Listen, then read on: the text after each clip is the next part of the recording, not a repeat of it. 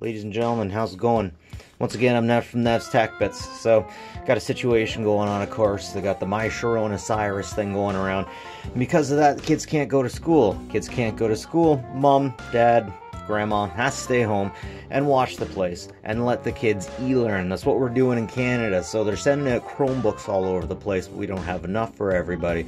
People have to share. Kids aren't good at sharing. So ultimately, we have a basement find here. It is um, it is an Acer Aspire 1Z and I'm going to get this thing going well enough so that uh, we can do some homeschooling off. I'm going to be doing a teardown, I'm going to do a benchmark, basic game review. Anyways, hang on, check it out with me, guys.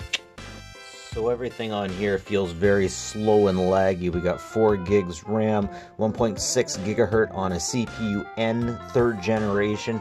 Now what an Intel Pentium N is, or they just call it Pentium, it goes Intel Atom, Intel Celeron, and then Intel N. And over here we can see that we have Intel HD graphics. So once again, not the best, not the worst. I mean, I don't think we're going to be able to play Fortnite on especially since it has a 5400 RPM uh, hard drive on it. We're going to have to see if we can update that to an HDD, or sorry, a solid state drive. And man, this thing's riding hard on the hard drive and the CPU, bouncing back and forth. Now, we'll give this thing a factory reset and we'll see if it helps it out at all. You know how a lot of people say, I just need a computer for schoolwork? Well, let's see if this actually fits the bill. Will this actually go just for schoolwork? Because once again, that's the reason why I'm fixing an update in this thing. We're all, on, we're all on lockdown, and the neighborhood kids need more tech in order to do their work. Okay, there is a lot of bloatware on this baby. Alright, I got all the bloatware off of this sucker, but it's still slower than molasses in February. Next step, I'm going to get a solid state drive, open her up, swap her out, and hope that helps. Okay, so I got the first benchmark done. That's a very promising score, 679. Not bad. If I can't beat 250, then it's usually too slow to go. Having some problems with the DirectX 12, but I'm going to see if I can fix that or help that out with a new hard drive. Next up, of course, we're going to do a teardown of it. All I'm going to do is take out all the Phillips head screws around the sides.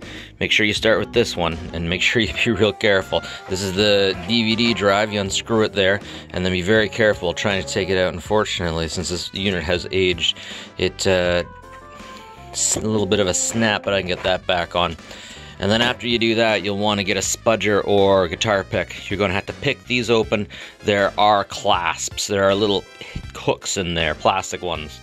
So yeah, after getting that thing out, I definitely recommend that you uh, unclip from the back and open from the bottom, I should say. Anyways, we're getting in here, we're to have a look at what's going on. we got some uh, heat piping going on over there. All of the major kibbles and bits is under that shielding right there. But all I really need to get at is the hard drive right here. That's where the CD drive came from. And yeah, you can't change out the RAM. Don't even bother trying, but if you are going to get in here, I gotta warn you about this cable right here. Be real nice and dainty, you don't want to break that one. I'm gonna upgrade this to a solid state drive. Alright, I swapped that hard drive out. Man, it took about two hours. And we're starting again DirectX 9, getting almost 5 frames per second. Here, once again, we have DirectX 10 going from 0.5 to uh, 3.61 uh, frames per second.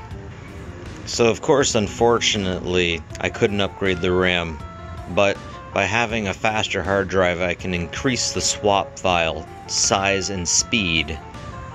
And here comes DirectX 11. We are maxing out at about 6 frames per second. Those space jellyfish are just pinting away. Once again, the DirectX 12 hangs up in the same place it did before.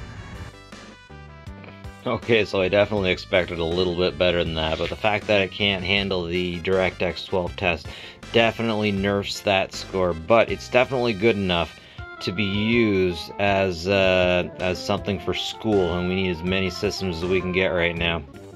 Did I mention that it's touch screen and it can lie down flat on its back? You can do so much with that kind of stuff.